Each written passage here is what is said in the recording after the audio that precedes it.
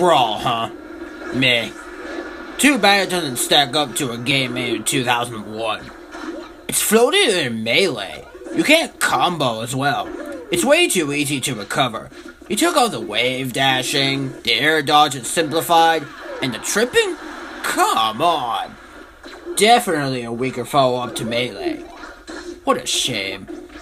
Poor naive Kirby. You don't have a clue. I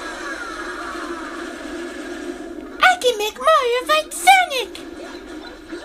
Hmm.